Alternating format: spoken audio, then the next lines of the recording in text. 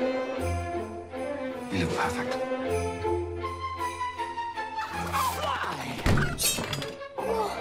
Did you bleed on the carrots? Will I die? Yep, probably. Grandma! Happy Christmas. You're still alive? Yes, I think so. Jesus, they're early.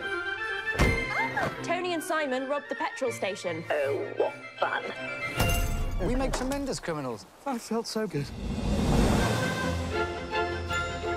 We're all getting old. Well, we were getting old. It's just one potato each. Just one for everyone.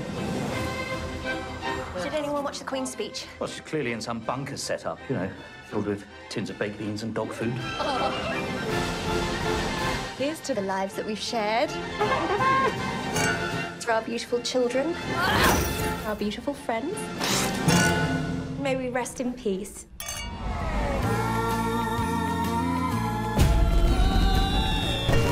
I just think we should be honest with the kids. We know the Russians want us all dead. They're sending poisonous gas to kill us all in the morning. It's not the Russians, it's the planet. It's very upset. It will kill anything and anyone that is still alive.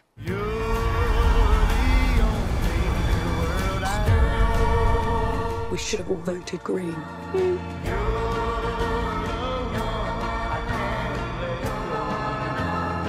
We just want to make sure that you understand that as your parents, we are not to blame. Clearly, it's not your fault either.